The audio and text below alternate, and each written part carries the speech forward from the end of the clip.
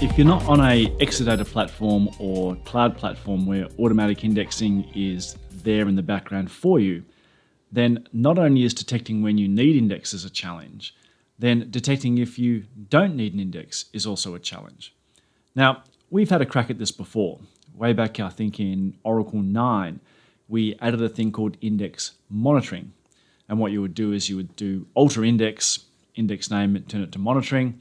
And then in VDollar object usage, there'd be a view that says, yes, this index is now being monitored. And how did it work? You would run a query and, for example, do ID equals one.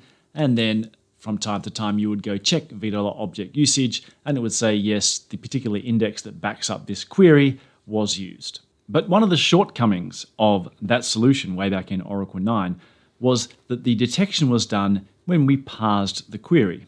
In the same way, the optimizer would come along and say, yes, in the optimizer plan, it says I'm going to be using that index, and therefore we would flick the flag that says, yes, this index has been captured and marked as in use.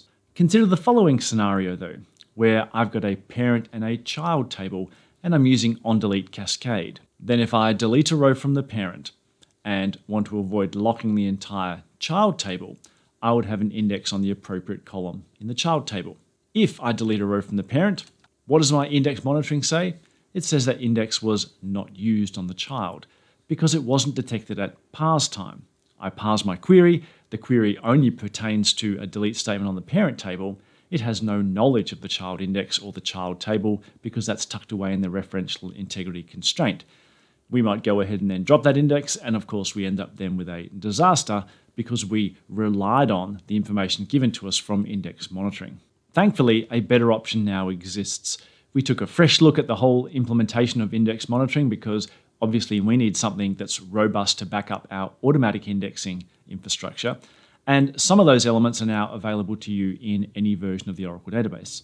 If you describe DBA index usage, you can see it's got for each index name in your database various metrics about how the index was used, if at all.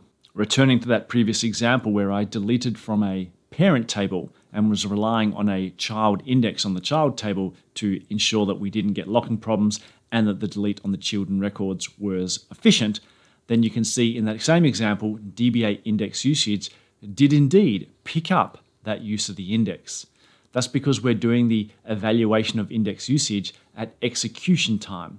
Was that index required in the execution of a statement as opposed to parsing as it was in the past? Now, this doesn't mean that as a DBA, you can just forget about the entire use of your own brain and just rely on DBA index usage views to determine what indexes you should drop.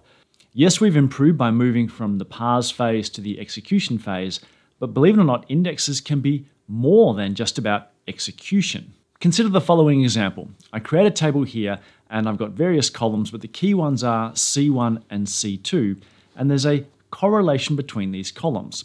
If I query the number of rows that both have C1 and C2 equals 12, we can see the result there is 200. But what does the optimizer think?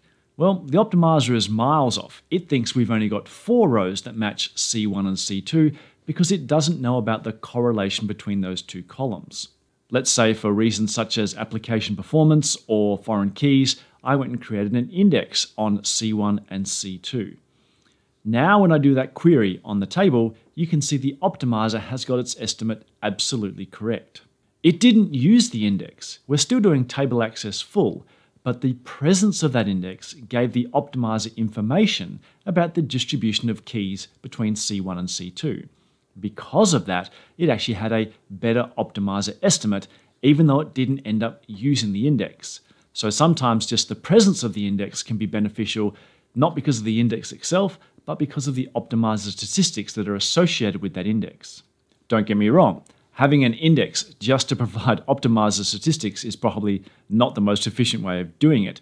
We could have solved this problem with extended statistics. We could create some extended statistics on the two column combination of C1 and C2. That gives us a new cryptic column name that goes onto our table. We would then recalculate stats, and now the execution plan without the presence of the index still comes up with the correct estimate.